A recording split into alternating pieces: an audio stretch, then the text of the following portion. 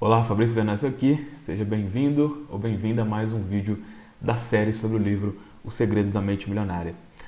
Hoje nós vamos entrar aqui no 14º arquivo de riqueza. Esse esse capítulo, ele é muito prático, muito prático mesmo. Então tem algumas coisas aqui é, ele vai falar sobre administração de dinheiro, né? Então, já para falar, deixar claro, qual que é esse 14º arquivo? É o seguinte, as pessoas ricas administram bem o seu dinheiro. As pessoas de mentalidade pobre administram mal o seu dinheiro. Então ele vai dar aqui algumas dicas práticas, práticas mesmo. Então presta muita atenção e mais do que prestar atenção, é óbvio, aplique o que está sendo dito aqui. Aplique. E é possível que surjam algumas resistências né, com algumas coisas que ele for falar aqui, algumas sugestões, mas é, o máximo que for possível, aplique o que está sendo comentado aqui. Então vamos lá, vou pegar aqui algumas partes conceituais do que está conversando aqui, mas o foco maior aqui vai ser na parte prática mesmo, tá? Então, no segundo parágrafo aqui, ele diz o seguinte, olha: os ricos não são mais inteligentes do que os indivíduos de mentalidade pobre. Apenas têm hábitos diferentes e mais positivos em relação às finanças. Como expliquei na parte 1, esses hábitos se baseiam primordialmente no condicionamento passado, se alguém não controla o próprio dinheiro de modo adequado, é porque provavelmente não foi programado para lidar com esse assunto. E é possível também que essa pessoa não saiba gerir o seu dinheiro de forma simples e eficaz. Não sei se é o seu caso, mas a faculdade que frequentei não oferecia o curso Administração de Dinheiro. É mais por verdade, né? A maioria de nós, é, ou na escola, né, ou faculdade, ou na família, normalmente não se tem esse tipo de, de atenção à administração do dinheiro. Né? Continuando aqui, olha, talvez esse tema não tenha muito glamour, mas ele se resume a isto. Olha só, o que distingue o sucesso do o que distingue o sucesso do fracasso financeiro é a capacidade que a pessoa tem de administrar o próprio dinheiro. É simples, para controlar o dinheiro é necessário administrá-lo.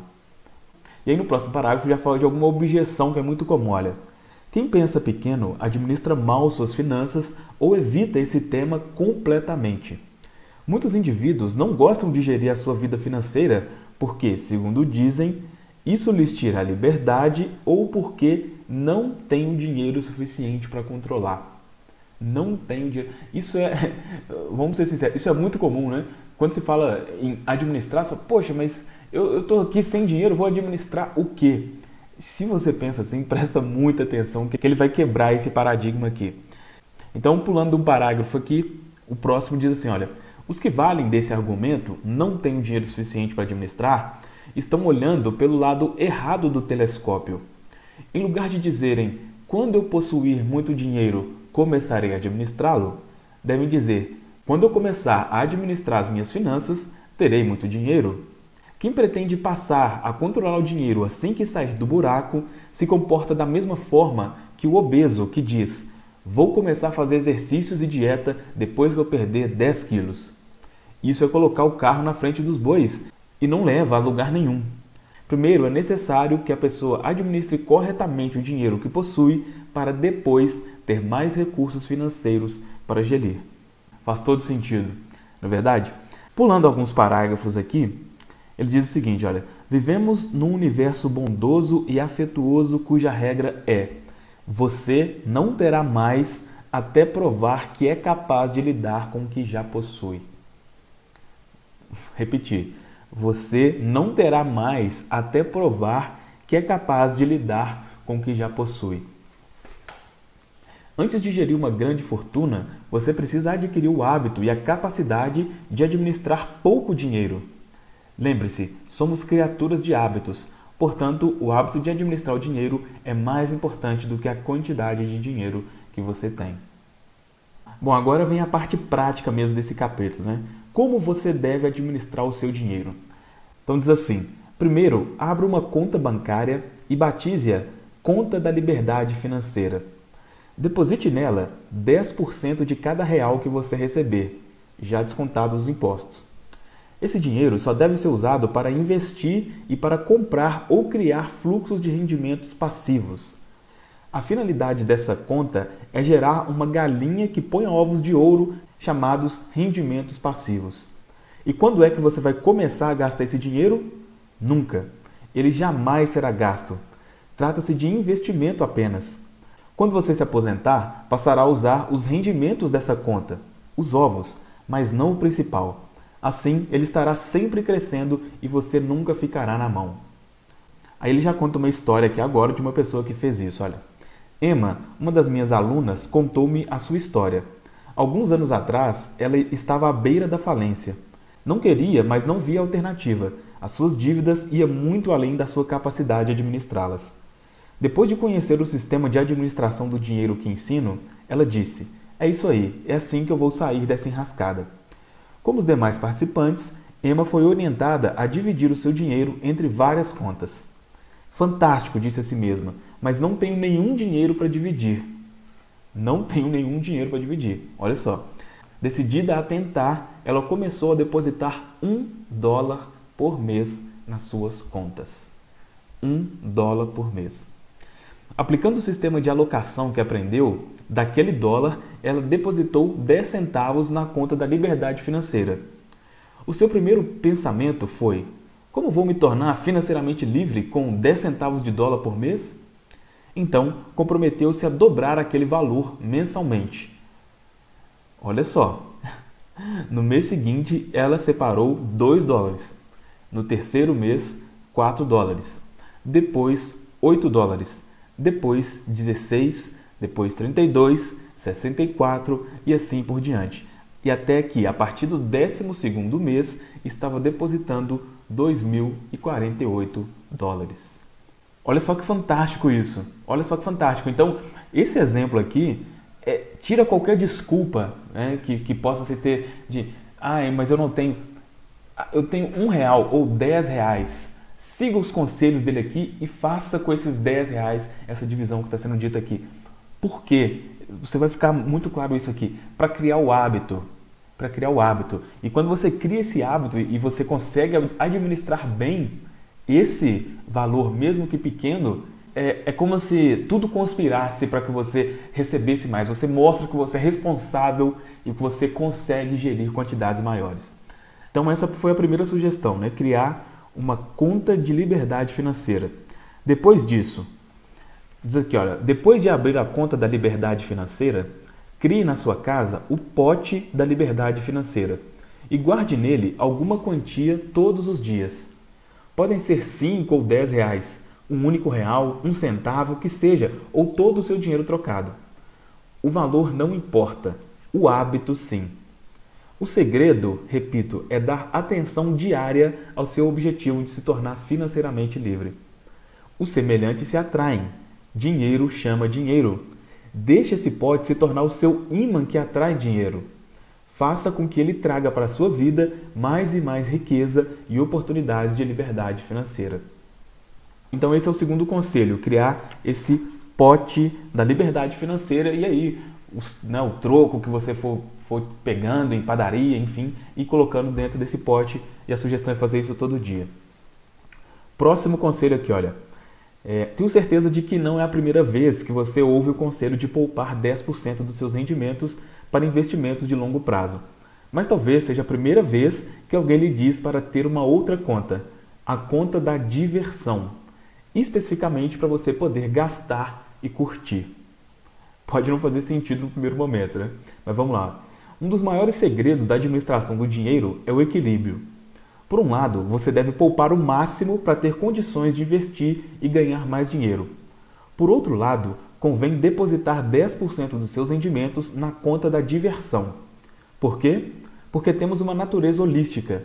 Não podemos afetar uma parte da vida sem afetarmos outra. Algumas pessoas economizam ao extremo. Com isso, o seu ser lógico e responsável fica satisfeito mas o seu espírito não. No fim, esse lado espiritual, ávido por satisfação, diz: chega, quero um pouco de atenção também, e sabota os seus resultados. O objetivo primordial da conta da diversão é a sua satisfação. Ela lhe dará a oportunidade de fazer coisas que você normalmente não faria. Extravagâncias como ir a um bom restaurante e pedir uma garrafa do melhor vinho ou champanhe, ou alugar um carro caro para passear durante um fim de semana. A regra que comanda a conta da diversão é: ela tem que ser zerada todo mês. Exatamente, você deve torrar, entre aspas aqui, mensalmente todo o dinheiro que tiver depositado de um modo que o faça sentir-se rico. Imagine-se, por exemplo, despejando cada centavo dessa conta no balcão de um hotel de alta classe para passar um fim de semana ali.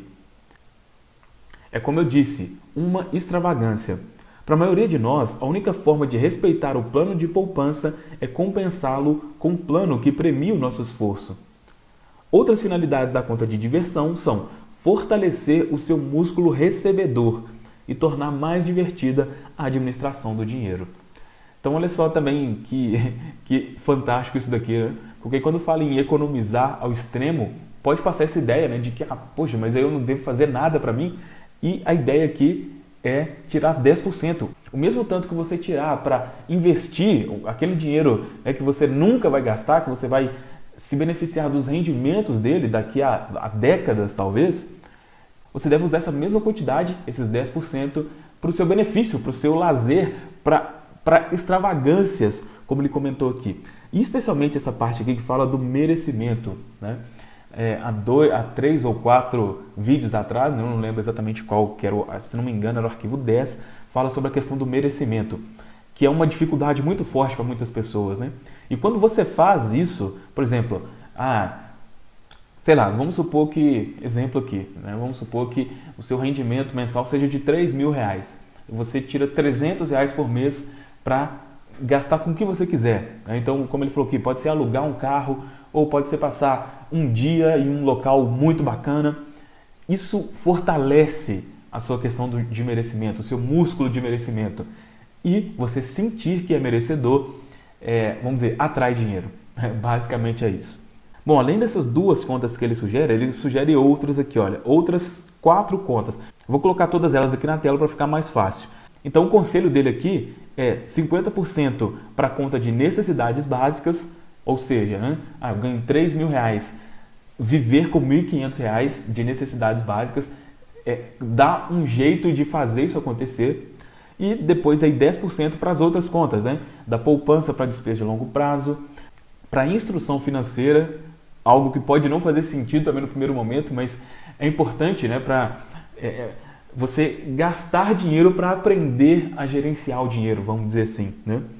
É, a conta das doações, como falou aqui, 10%, e aí cada pessoa doa para aquilo que achar melhor, mas é algo extremamente importante também. Então, isso que está aí na tela é a sugestão que ele dá aqui. Né? Como que você administra mensalmente o dinheiro que você recebe. E aí, continuando aqui, ele diz o seguinte, olha, vou dizer outra vez, as pessoas de mentalidade pobre Pensam que tudo depende dos rendimentos. Acreditam que para enriquecer é necessário ter um salário ostentoso. Isso é uma grande bobagem.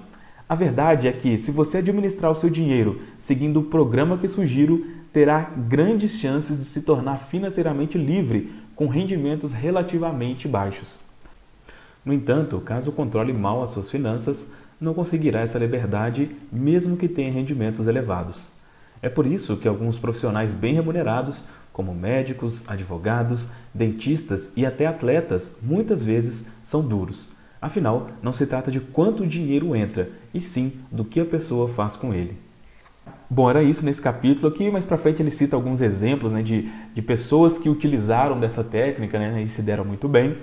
É, depois, se você quiser, você pode comprando o livro né, e fazendo a leitura, você pode ver isso aqui. O objetivo aqui, como eu já disse antes, não é necessariamente esse, falar todo o conteúdo aqui. Alguns capítulos sim, mas esse aqui, até esse ponto que a gente chegou, é, já é o suficiente. Depois aqui ele sugere a declaração, como sugere em final de todos os capítulos, e nesse caso aqui é: Sou um excelente administrador de dinheiro, eu tenho uma mente milionária. E depois as ações. Né? Então a primeira ação é abra a conta da liberdade financeira. Deposite nela 10% de todos os seus rendimentos, descontados os impostos.